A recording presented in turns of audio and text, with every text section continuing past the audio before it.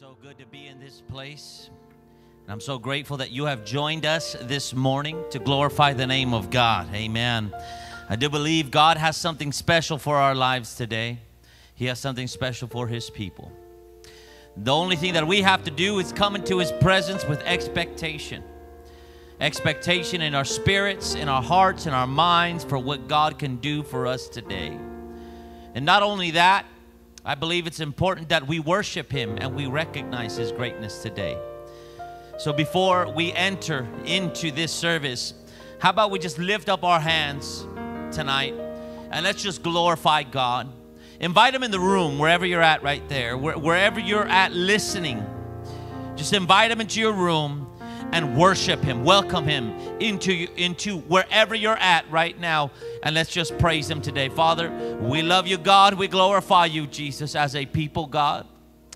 We do God this evening, Lord Father, because you are worthy of all of the praise today. And because you are worthy, God, we're going to give it to you today, God. We're going to lift our voice, God. We're going to lift our voices to you and make a joyful noise, Lord God. Even in our homes, God, we will fill our homes with your praises, God, because you are good, Lord Father. Receive it today as we glorify you, Jesus, as we lift up your name, God. And I pray, God, that as we lift you up, God, you would descend down, Father, in your power. Descend down, God in the power of the Holy Ghost, God, with every family, with every individual, God, whether they're in their home, God, whether they're driving, they're driving in their cars, Lord God, wherever they may be right now, God, I would pr- I pray, God, you would just loose your spirit upon us, God as we praise you and we glorify you today. And we'll be sure to give you all the honor and all the glory. In Jesus' name we pray. Amen. God bless you as you praise the Lord with us.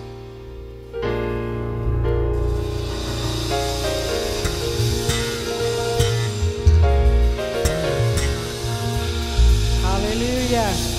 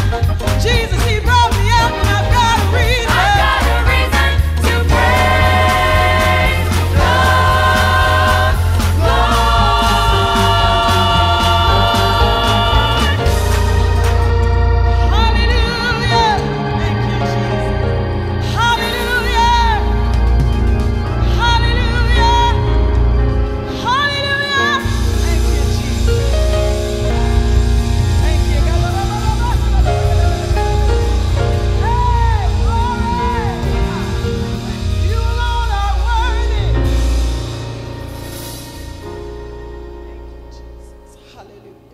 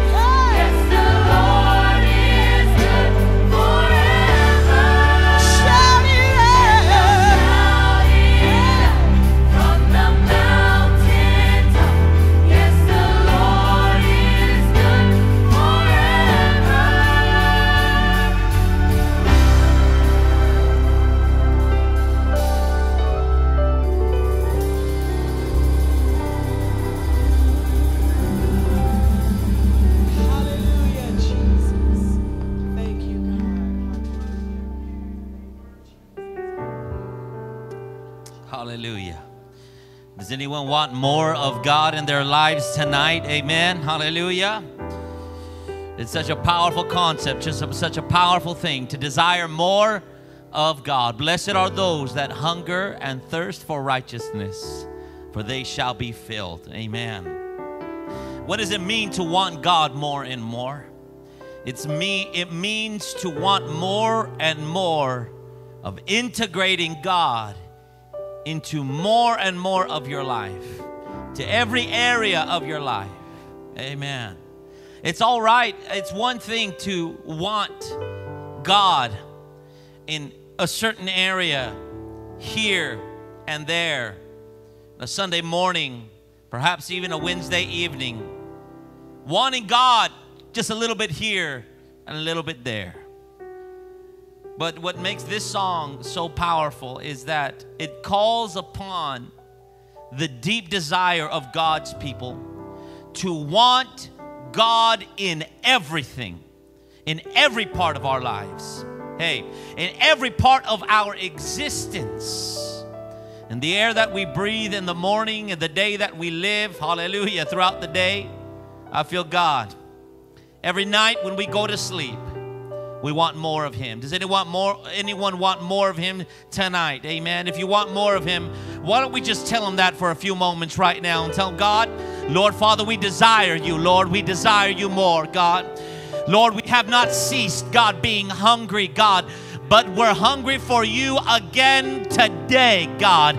Not that you haven't been enough. No, you have been enough, but we desire even more, God. We want to lives. We want to know you, God, in our everyday, God. We want to know you in our homes. We want to know you, God, as we go throughout our day, God, every morning and every night, God. We want more of you, Jesus. We want more of you, God, every day. Praise God. Praise God. Wherever you're at, just give a hand praise to the Lord. Just glorify Him right now. Just lift your voice to heaven. We love you. We worship you. We thank you, God, for the presence that we feel here, here in this place and with your people, God. Well, today we're going to pray for our city again because we do need Him more, even in our city. We need His power in our neighborhoods. We need His power on our streets. We need His power on our families. And every time we come to service, we call down the name of Jesus upon our situations. So we're going to pray today again. And we're going to declare the power of God, the Spirit of God upon our city.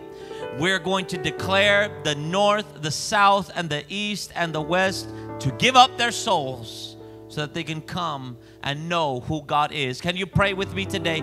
Father, we come before your presence, God, tonight, Lord Father. We know, God, it is you who we need in our lives, God, tonight.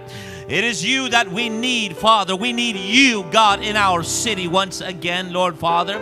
I pray right now, Lord God, that your power, God, would continue, Jesus, just coming down upon our city, God, and giving us revival, Lord Jesus. I pray, God, that your spirit, God, would continue, Jesus, to just begin infiltrating, Lord God, every aspect of government, every aspect of society, God, that you would begin to integrate, God, divine purpose, Lord Father.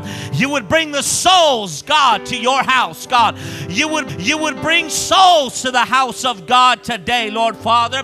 We pray over the north and the south and the east and the west today that they would give up their souls, Lord God, that they would come to you, God and come to know that you are the one and true and living God today. We declare it in the name of Jesus, God. Every backslider, God, today, Father, and you would stir up your word in their hearts and you would stir up your word in their minds so that they can come back to the knowledge of who you are. In the name of Jesus Christ, we pray. We declare it today in Jesus' name.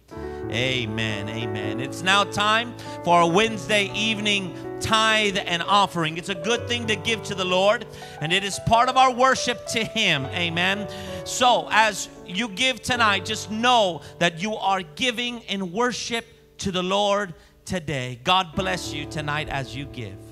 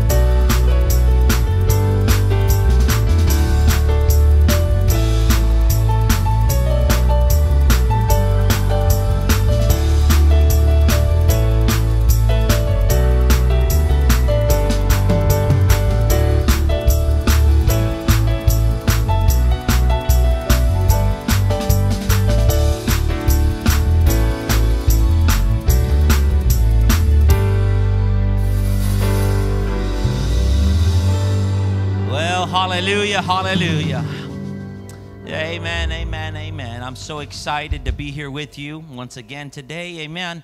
We're going to go into the Word of God this evening, and I know that God has something to tell us today. I'm so excited to share uh, this word today. It is in connection with not last week's uh, message, but two weeks ago, where I talked about uh, the Sabbath and I talked about how Jesus Christ is our Sabbath and our rest. Today, I want to continue in this mini series and I want to talk about the God who carries our burdens today. Now, where this uh, where this uh, message today stands in relationship with what was preached about Jesus Christ being our rest is that when we spoke two weeks ago about Jesus being our rest and actually the fulfillment of the Sabbath, and the very reason why we don't really keep the Sabbath as was expressed in the law of Moses.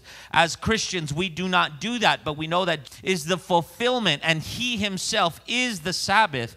But where this, uh, where that sermon stands, is that we were talking about what the Word of God is telling us is our obligation towards Jesus Christ in believing that he God does all things perfectly and all things well in the fact that he completed his complete work in 6 days and he rested on the 7th and also uh, it, it is uh, it, it- the God uh, God expects us or the, we- have learned through the word of God that we are supposed to trust him to provide our every need which is where the manna came down they were to collect manna for 6 days and trust in God to provide for the seventh day. And it also means that we are supposed to trust that God, He is able to, to go above and beyond anything we can ever earn, which means we don't we don't earn the favor of God. We haven't earned it. There's nothing we can do to deserve it. God is better to us than we can ever be to ourselves. Amen. And we must accept the fact that this is all by a provided because of the great grace and mercy that he has towards us. Now, today I want to take the other perspective and kind I want to talk about our position towards what God is trying to do in our lives because the truth is is that it is many times difficult to trust in God for that which seems impossible. And it goes against the very nature of what it means even to be human. And I'm going to go into that a little bit here in this sermon today but I'm going to talk about a little bit about what happens in us when we are challenged with the fact that we are called by God to give our burdens over to him. So I want to take us first here to the book of First Peter, and I want to start here in chapter 5 verses 5 through 7. First Peter chapter 5 verses 5 through 7. And it says here, likewise, you younger people, submit yourselves to your elders. Yes, all of you be submissive to one another and be clothed with humility. For God resists the proud, but gives grace to the humble. Important passage right here because the, the apostle Peter, he is comparing and contrasting pri- to, uh, pride with humility and what it means to be submitted and to, uh, uh, he sets them at odds with each other that to be humble you cannot be proud when you're prideful that means you lack humility and this is a very important subject because God is actively involved in these two things. The Word of God says that God resists the proud. What does this mean? This is very important because this means that God doesn't only dislike pride, it's not only something that bothers God, but God is in inactivity against pride and those that are uh, proudful uh, or are full of pride and proud. God is resisting the proud, which means he is actively working against and distancing himself from the proud. But he gives, he gives grace to the humble. Now, grace we have to realize that this word grace is a very um, uh, it's a, a term that is full of so much meaning in the Word of God. Uh, many theologians, uh, uh, many ministers have made the mistake of equating grace with mercy. This is not the case. In fact, mercy is only a very small part of what grace actually is. The grace of God is manifest in every single way that He gives us more than what we deserved, which is why even the gifts of the Spirit in the Apostle Paul, they are given by means that God didn't necessarily have to pour out mercy, but God is giving us power in this world, power in this age that we did not do anything to earn or deserve. We did not train hard enough to get it. We did not do en- uh, enough effort on our behalf, but God poured it out to the church and He gave gifts as the Spirit desired to man so that we can operate on a higher plane than that of the natural world. That we can operate in a supernatural level that would not be possible by science and human uh, and human rules of humanity and humankind so that God gives grace to the humble means that everything that is within the package of God and everything that God offers his people, he gives it to a, a, a specific person, that individual that is humble, right?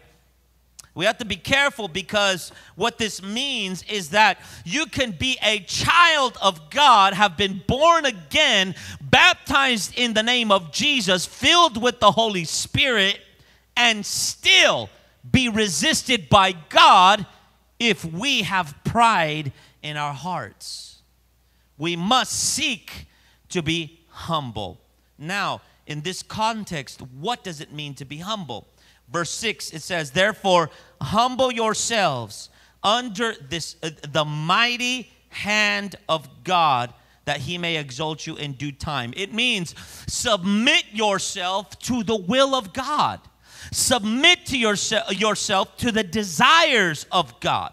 That's what humility means. But now in verse 7, it classifies the specific kind of humility that the Apostle Peter is desiring to address here. And this sets everything, everything in a very important context, a context that connects very well with Jesus Christ being our rest or our Sabbath. It says, therefore, verse 6 again, humble yourself under the mighty hand of God, that he might exalt you in due time, casting all your care upon him, for he cares for you. In other words, he has a concern for you. He has a concern for your well being. He watches over you. His eyes are directed towards you. He knows your name, therefore, cast all your care unto him. Hallelujah. Now, this is this sets this up this concept of casting all your care and casting your burden upon god in a very interesting meaning because he is actually equating the apostle peter is equating being humble with casting your care wow that is fascinating it says here that humble yourself casting all your care upon him it sets these two things in the same subject, in the same light, in the same category. To humble yourself means, or the marker of an individual that humbles themselves and submits themselves to the mighty hand of God, the mark the characteristic, the descriptor of an individual that has submitted themselves to God is an individual that casts his or her cares upon the Lord. That's powerful. That's powerful. If you're looking for proof as to whether an individual is really submitted to God and humble in the presence of God, you will find an individual that has learned to trust in Jesus. You will find a person that has learned to put their confidence in God. You will find an individual that has learned that God is their provider. God is the one that assures their well being and their future. God is their all in all. This is a humble person. Now, we must ask ourselves today then what about casting your care requires humility? What about casting your burdens on God requires humility? Because it seems like they don't both um, go hand in hand immediately at first glance. You can't really tell. But when you study what it takes, when you reflect upon yourself, when you reflect about what it takes to cast your care upon God, you will understand what it means. And the reason why casting your care requires humility. Because, and this is why, because casting your care before God means relinquishing control over your life. It means giving up control over your future. It means relinquishing the control over the plans that you have and what you think is going to happen in your life and what you think you should do in response of your trials, of your needs, of your sickness. Hey, when we bring it into real life, then it becomes very clear. The provision of money, what you do to try to heal your body, and what you do to try to fix your situations, and what you do to try to fix that coworker that's bothering you that supervisor that just keeps hounding you and keeps coming at you and, he, and, he, and keeps persecuting you. What you think you should do about situations, because many times we as human beings, we like taking control because we think we know what is best. And so we choose methods of responding to situations. But God says, Cast your care upon me. Wow. That means that you are giving up ownership over your future. You're giving up ownership over your problem. You're giving up ownership over what's to come. And many times, what is to come, or at least what seems is around the corner, is so difficult to hold. It is so difficult to contemplate. It is so difficult to realize and say, God, look, you have told me that you're going to provide for my every need, but it looks like right now I'm going to have to work seven days a week. I can't go to church. I gotta, I gotta provide for my family. I gotta keep working. But God says, look, uh, you need to come to the house of God. You cannot forsake the assembly of the brethren. You gotta come to the house of God and worship His name. So you gotta relinquish control. You got to let go. Let go of the control and believe that God is going to provide for your need. That, that church, that people of God requires humility. That requires submitting. If you want to find then the marker of an individual who is not living in humility, the marker of an individual, and this is hard to hear because it's part of our nature as human beings to want to have control. The marker of an individual who is not living submitted to the will of God. If you are looking for a characteristic, you are find you will find a person who refuses to give God control over their future. I think this is hitting home for somebody tonight. You will find an individual who refuses to trust in God to supply their need, to work things out.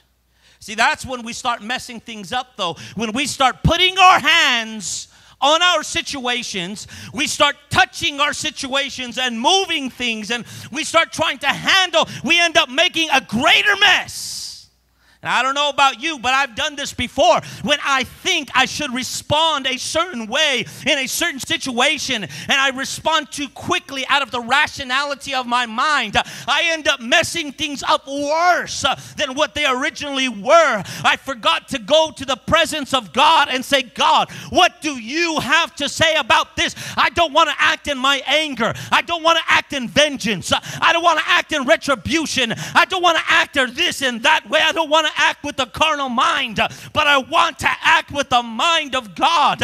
I want to act with mercy, with the spirit of peace and the spirit of unity, a spirit of increase and fruitfulness in the Holy Ghost.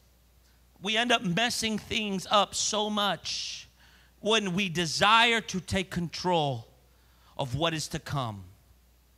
This is why I believe the Lord Jesus Christ, in teaching his disciples, he tells them in Matthew chapter 6, verse 34 do not worry about tomorrow.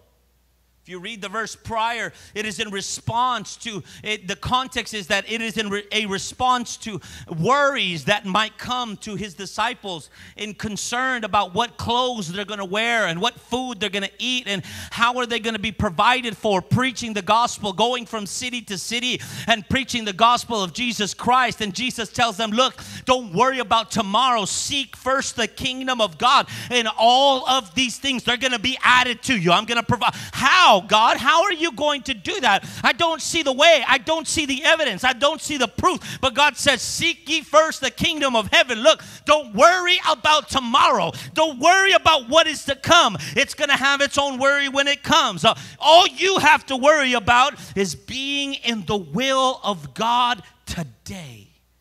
Right now, ask yourself Am I walking in the will of God? Am I obeying God? Am I submitting? Am I, am I humbling myself under who is the Almighty God, who's the creator of heaven and earth, who holds my future in his hands?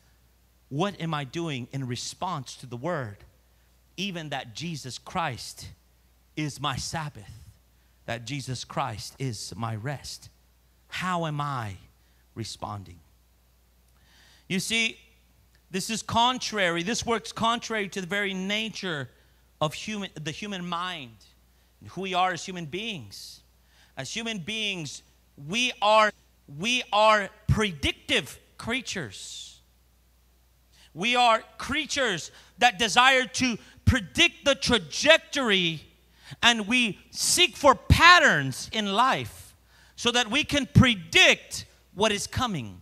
This is part of the very nature of what it is to be human. When we're children, when we, even when we're infants, we already begin this process. Predict the trajectory of a ball. When we throw an object, we see it and we throw that object, and children and infants are even doing this process for themselves. They're understanding what it means to launch something in the air. If I launch it with a certain amount of strength, it's going to go this far. But if I launch it with that amount, a little bit stronger, it's going to go further. And if I throw it even harder, it will go even further. And so now, if they're trying to aim at an object, uh, they're trying to predict uh, what about the, uh, the amount of pressure that I put on this ball is going to get this ball to where I want it to go. It's part of the very nature of what is called human cognition. The way that the mind works, the main that the, the mind works is that it's constantly trying to find patterns. This is not only in the very physical realm, like a ball, but this is also in social situations and very complex social, community, and psychological situations. We're constantly trying to predict meaning. What is the meaning? What is the meaning of this group of people? What is the meaning? When we first enter into a room, when we first enter into a grocery store, we look around and we say, What is the meaning of this grocery store? What are the signs that it's going to be safe for me to walk through this neighborhood? What are the signs that it's going to be safe? And we're constantly, even without thinking about it, we're in a state of attempting to predict uh, what is the outcome of my life at this moment in time. And humanity, the world, we have gotten into some big problems because we do not realize that many times uh, those things that are dominating our predictive center of consciousness, uh, those things that are dominating the predictive part of our hearts, uh, are actually corrupt. And our assumptions about the evidence of whether something is good or bad and whether someone is dangerous or not, it's tainted. It is tainted perhaps by past experiences and ways of looking at the world. Uh, and nobody really taught us uh, how to see the world in a certain way. And so we predict things about other people that are wrong. And many times it takes time to really deconstruct that mindset, to really break that down. Can I tell you that that's all what the Word of God is all about? Because the Word of God says, hallelujah, that the weapons of our warfare, they are not carnal, but they're powerful through God to the pulling down of strongholds, casting down imaginations, uh, and every high thing that exalts itself uh, against the knowledge of God, submitting, bringing every thought into submission uh, to Christ. Wow. The Bible actually foretold this. It said, hey, look, when you're in the world, uh, you're pro- even from your culture that you belong to, you're programmed in ways uh, that is not pleasing to God. We've learned to make meaning of our world in ways uh, that is not pleasing to the Lord. So we have to go through a process uh, of submitting our hearts and our minds to God and saying, you know what, God, sometimes it doesn't make sense what the Word of God says, but let God be true and every man be a liar. I'm going to give my heart and my mind to be transformed by the power of your Word and the power of the Holy Ghost. We need to submit ourselves to the authority of the Word of God. And even though we have, we're used to thinking of certain ways about certain people and about no we need to submit ourselves to god and say god when it comes between your word and me i am wrong and you are right. And even though it's conflicting against what i've been told my whole life i am submitting myself to you and the future that you tell me i'm a part of. That is what i'm going to believe. Not the future that somebody has told me i'm a part of or the kind of person that some person that some educational institution has tried to convince me I'm a part of or some type of social social commentaries that are telling me I am this, I am that, that I'm always oppressed, that I'm always under uh, uh, under some type of oppression, and always I'm this kind of group that's that's specialized and marginalized, and I'm not going to let people convince me or tell me what I am. When I came to God, I made a decision that I am to believe that I am what the Word of God says that I am, and if I am victorious, uh, and if God has given me victory to tread upon the head of serpents uh, and to walk believing that God holds my future, guess what? I'm going to believe it.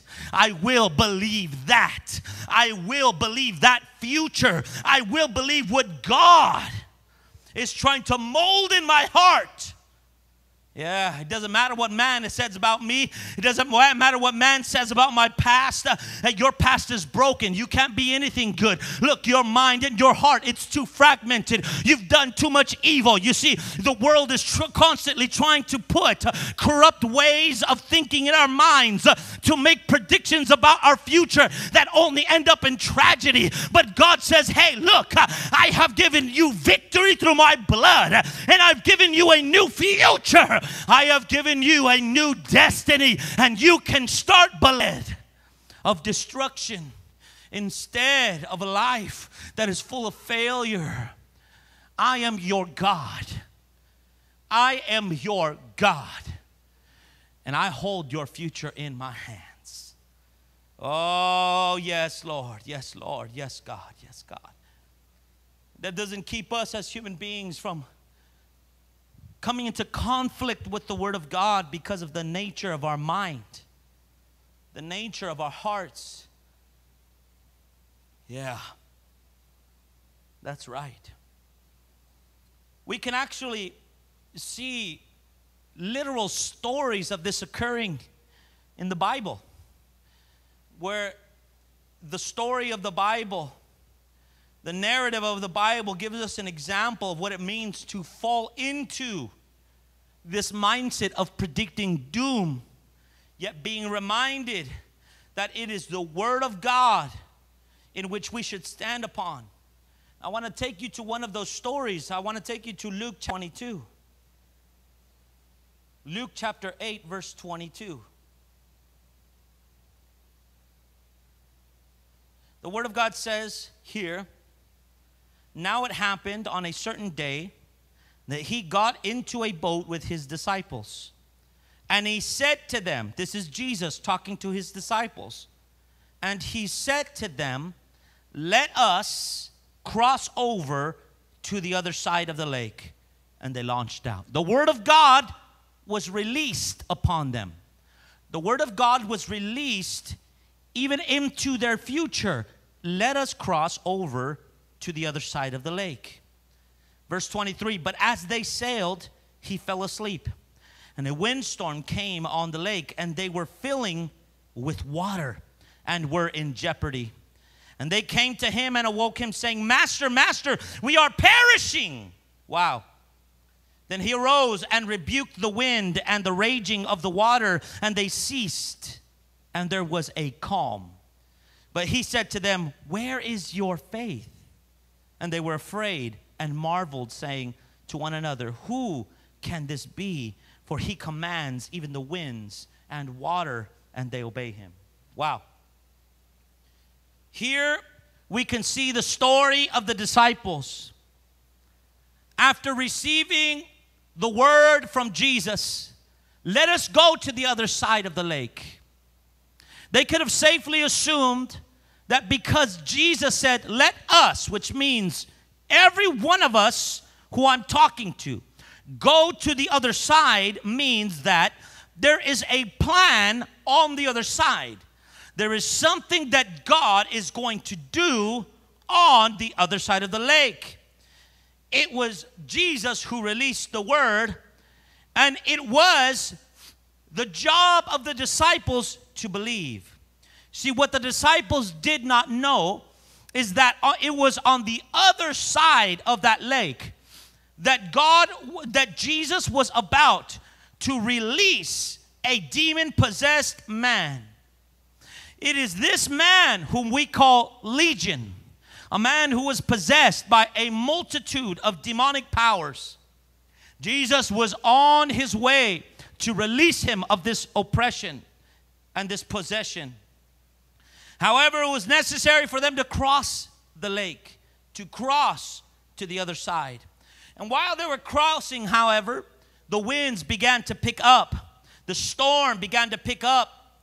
The wind began to blow and waves began to threaten their lives, or so they thought. They began to yell, Lord, look, don't you care about our lives? Don't you care that we are perishing? Don't you care that we're about to die? And you see, look, these individuals, the disciples, had very good reason to think they were going to die because they were men of experience. They were men who fished that sea. They fished that lake. They knew what it meant to fish on that lake. They knew what it meant when a storm came. They were familiar. And because of their past familiarity, they had a pattern of thinking. They had predictive ways of thinking that was saying, look, the wind is blowing this hard, the waves are this high, we're gonna die. And we know we're going to die. We're going to perish. The boat is being filled by water. We're trying to cast it out. And they their experience would have told them all of the signs are telling us that we are going to perish. Somebody wake up Jesus uh, because he said we're going to the other side, but we're about to die right here. And what did Jesus do when he woke up? He calmed the seas. He calmed the storm and he asked them, "Where is your faith?"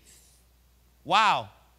You see, the disciples' whole life, their experience of working those waters, legitimately told them they were going to perish.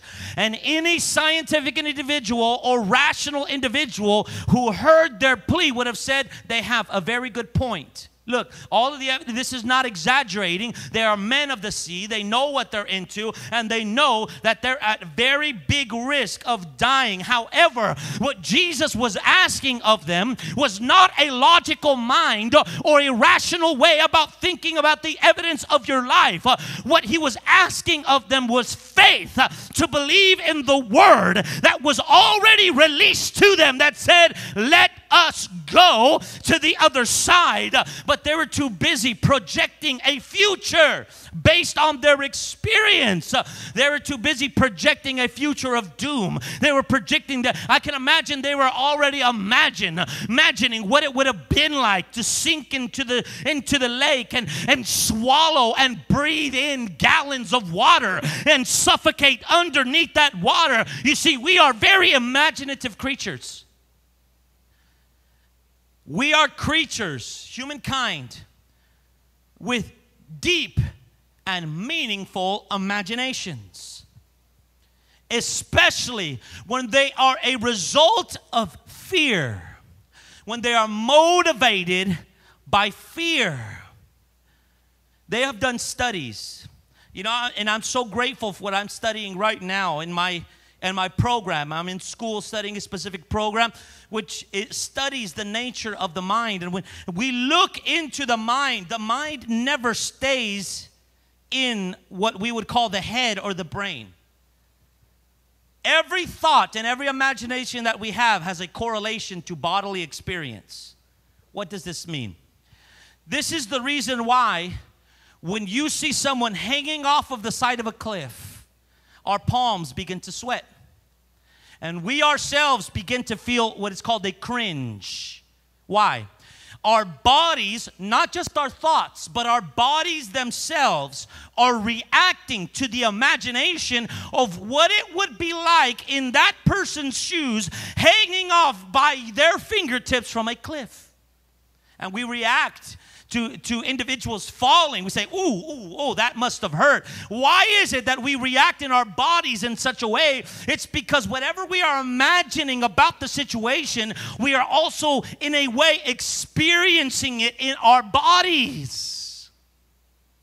So, the very act, the very fact that the disciples were casting out the water, they were experienced fishermen. They were saying, Jesus, we're perishing. Don't you care? We're about to die.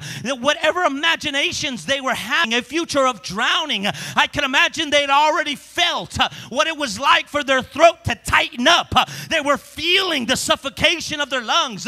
They were feeling what it meant to desperately go under and not be able to get to the top.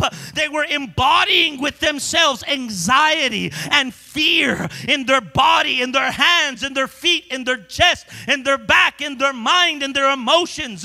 They were living the fear of dying. But Jesus Christ told them, Where is your faith? I have already told you a word, and that word is going to take you to the other side. It says, Let us go. Let us go. You and me, let's go to the other side. And even if the circumstances of this world seem to threaten your existence and seem to threaten your health and seem to threaten your future, do not project into your future what you think is going to happen, but begin to project into the future the word of faith that I have given you. I have already told you I am going to make a way. So, guess what? You need to start thinking. You need to start praising God because He's going to make a way. You need to start. You need to start praising God because He's going to make a way. You need to start glorifying Him because you have the blessed assurance that God eh, is going to take you through. Yes, that's what you got to do. That's what you got to do. Yeah, yeah, yeah, yeah. Yes, yes, yes. So Philippians 4 8 says, Whatsoever things are true. Uh-huh. And notice, I, I've, I've, I've explained this in a few places, and we've had some preachers come through here who have explained this as well. That something is true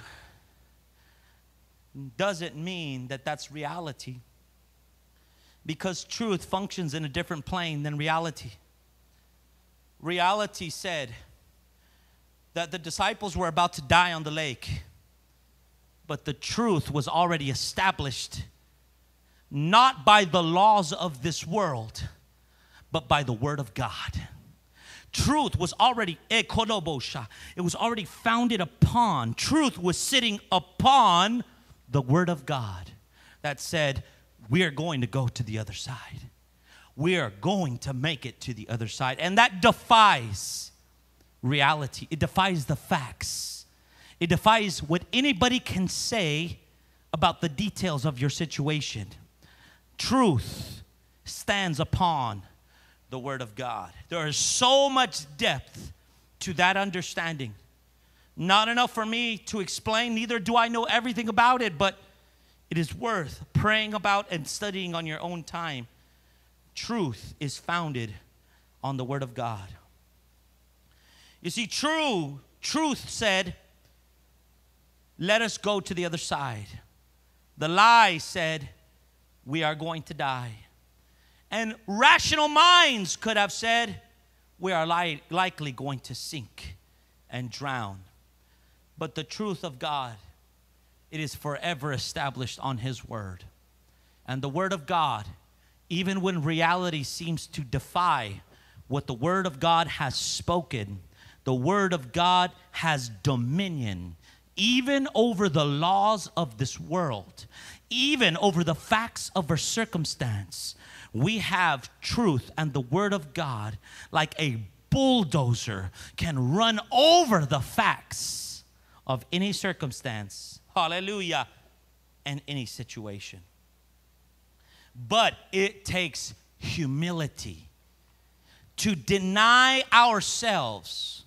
I hope in, somebody's hearing me and understanding what I'm trying to say today. It takes humility to deny our own logic and rationality and say, God, I know that the facts are telling me one thing, but I do believe that you are my Sabbath. I believe you are my rest. I believe you're my provider. I believe you do all things well.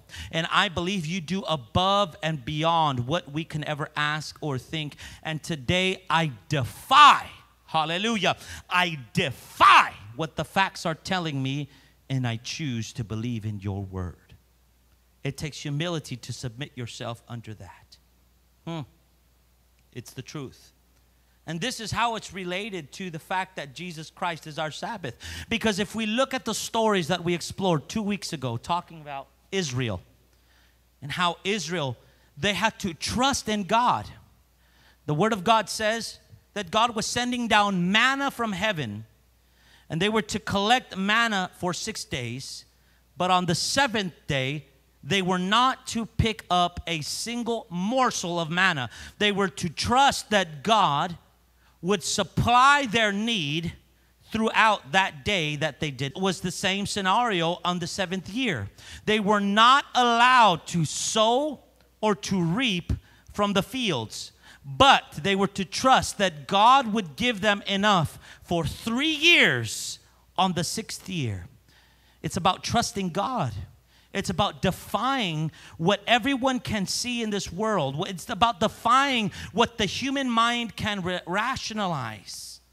This is why the just shall live by faith and not by what can be seen with the human eye, what can be observed with your rationality, by faith and not by sight. I know I'm talking to somebody today and I'm helping somebody today get through because the truth is is that life oftentimes it gets very hard when you start going through really significant problems, significant sickness, significant need.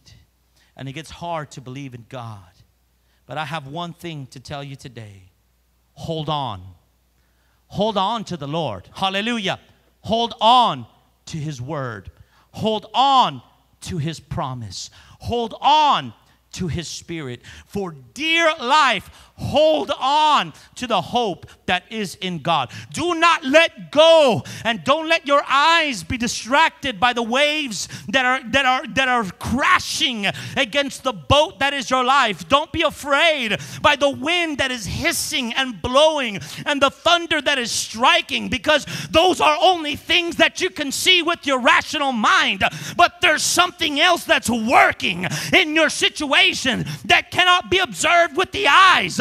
And it is the Word of God that has been invested in your soul, the Word of God that is in your life, uh, and it's going to carry you through. It's going to help you go on. I've come here to tell somebody that you have the assurance from God that you're going to make it through the other side. You're going to make it with victory today. You're going to make it blessed and highly favored because it is the God that you serve. And in the end, your story will be a testimony of the greatness of God, of the might of God, of the power of God. Receive it right now in your spirit in Jesus' name. Just raise your hand right now, wherever you're at. You need uh, that assurance of the Spirit.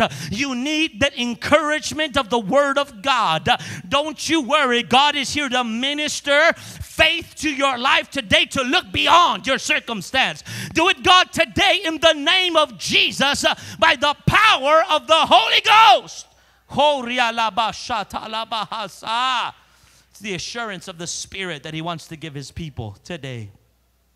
I'm reminded of this old Spanish hymn that I used to sing with my family back home.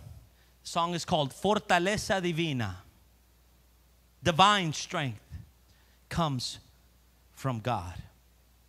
This divine strength to keep moving forward and believe. No, don't worry about the storm. Look past the current circumstance and realize that God is taking you. He's taking you to the other side. Proverbs 3 5 through 6 says, Trust in the Lord with all your heart. Wow. With all of your heart. Lean not unto your own understanding. Now, this is this is very significant that it says, trust in the Lord with all your heart. This recalls, this includes not just the thoughts of your mind, but it includes the emotions of your heart.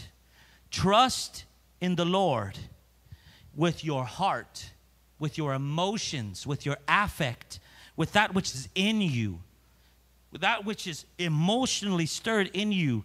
Get involved with the Word of God. Trust in the Lord with all your heart. Then it says, lean not unto your own understanding. Well, you know, this is this is even more significant, right? Because it doesn't even say don't trust in your understanding. It says don't even lean on it. Hey, hey, don't even use it as support.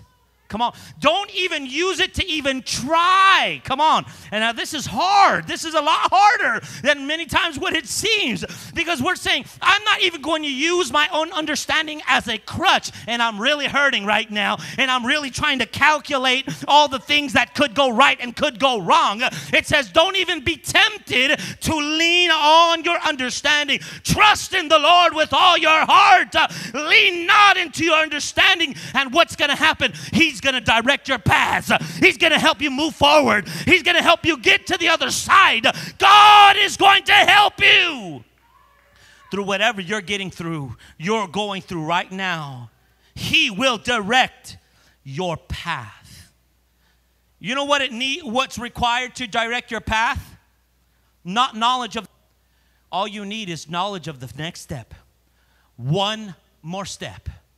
If you take one more step in the will of God, you're still in the path. God is going to direct your path. You see, so many of us, we want to know what's going What's going to happen next week? What's going to happen next month? Don't worry about tomorrow. What's going to happen next year? God, I don't see the plan. I, I don't see what you're doing. I, I don't know. I don't know how to grasp it with my lean not unto your own understanding. God, I cannot see what's going. What's the strategy here? I just need to know, God, please just tell me the strategy. What are you going to do? How are you going to provide? Who are you bringing into my life to make this happen? I need to know. And God's saying, No, you don't need to know. Lean not unto your own understanding. Just worry about today. Yeah, yeah, yeah, yeah. Because even the longest journeys are they are they are taken one step at a time. Even the longest, most successful, most victorious journeys are only done one step at a time. Yes. God is going to give you direction. He's going to give you help. And it's sometimes it's not help for what's coming a week later or a month later. It's help for what you need to be doing today. What is the next step? If you stay in the will of God today, you're going to get to where you need to go to. If you stay in the will of God tomorrow, you're going to go to where you need to go to. If you stay in the will of God the next day, you're going to go to where you need to go to. God has a future for you, and all you need to do is worry about one day at a time. One step at a time, stay in the will of God. Stay loving God. Come on, stay worshiping God. Stay praising God. Stay good at time. Stay living for God.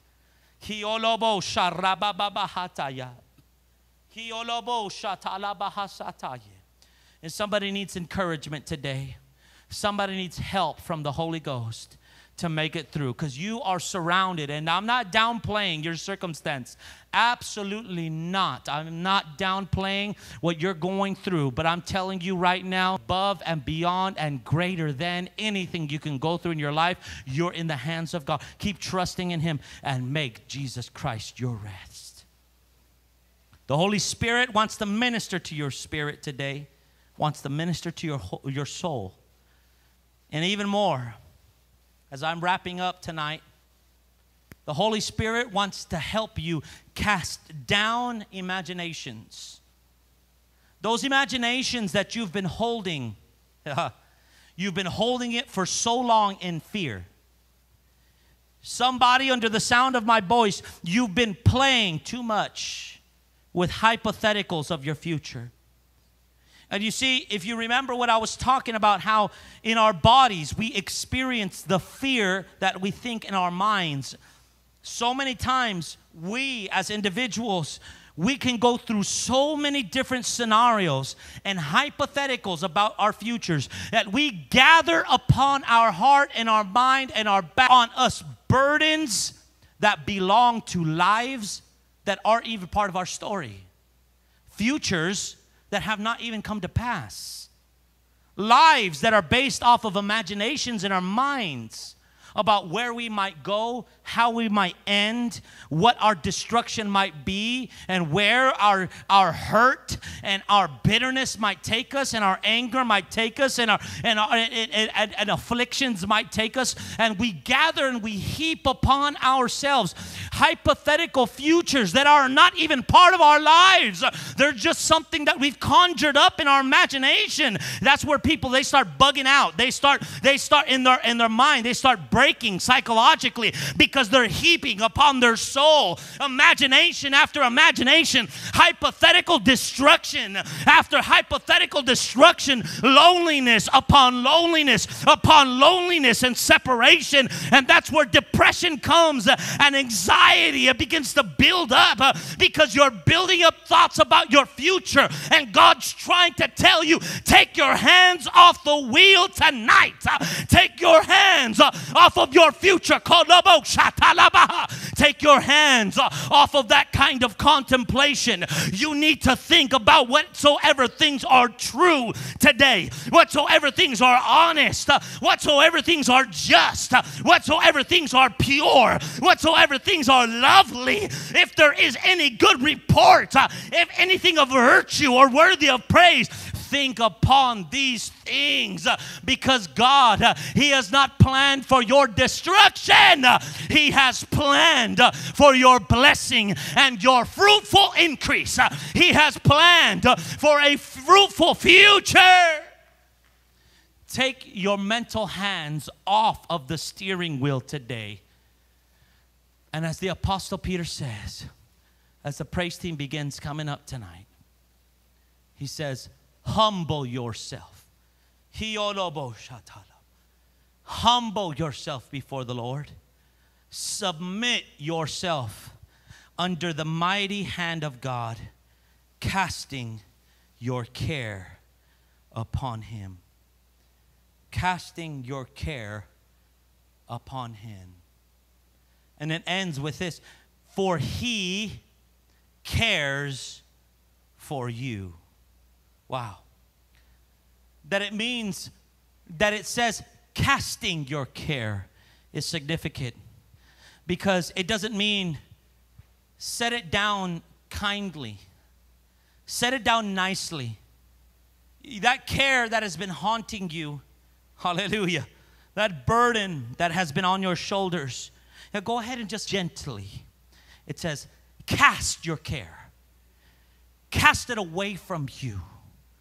Cast your care upon the Lord. And then it says, For he, how ironic, cares. Wow. He cares for who? For you. He cares for you. Wow. That burden that you've been carrying, you can cast it off because there is somebody who has a burden that he is carrying for you, and his name is Jesus. Jesus cares for you. That means he's carrying a burden, and that burden is your life. Hallelujah. That burden is your future. That burden is your situation. The Spirit is carrying a burden and to get you through. You're not by yourself in your life tonight. Kolobo shatalabaha. You're not by yourself. You're not on your own. He knows your name.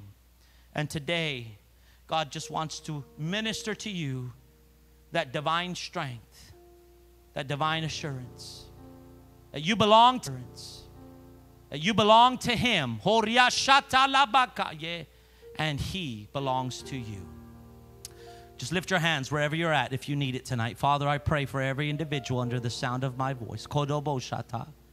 Ariatie yolobo koria shata. You asked a man one time, Do you believe? And he said, I believe, God. Help my unbelief. Somebody needs help believing that you are who you say you are tonight, God. I pray that by the power of your word, you would just increase faith tonight, God. Increase believing in the hearts of your people and minister, God, assurance in their spirits that you are theirs and they are yours and they belong to you. Practice this, church. Practice this. Read through these scriptures. Whatsoever thing is true and honest and just and pure and lovely, think on these things. That is the future that God has for you. You are blessed and highly favored today because you belong to God. God bless you tonight as the praise team ministers in song.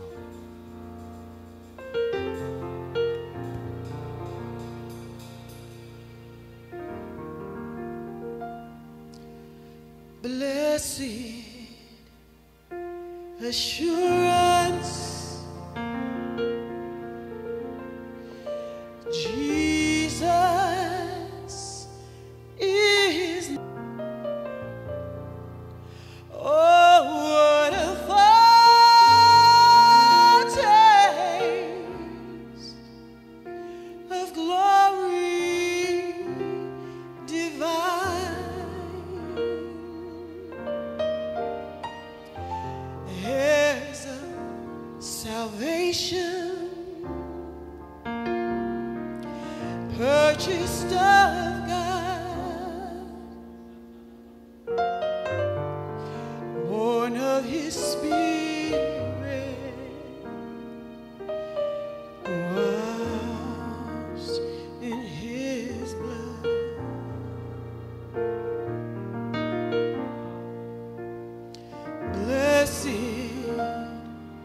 assurance.